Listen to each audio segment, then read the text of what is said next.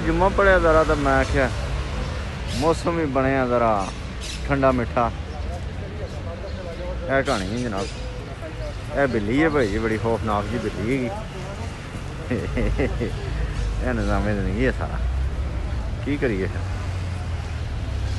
सनाटे हुए ने यार पासे।